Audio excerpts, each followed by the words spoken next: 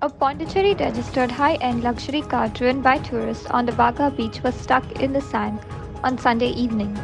People were seen trying to get the car out by digging the sand. Six days ago, a Telangana registered vehicle was stuck in the sand at Bogmalo Beach near Vasco.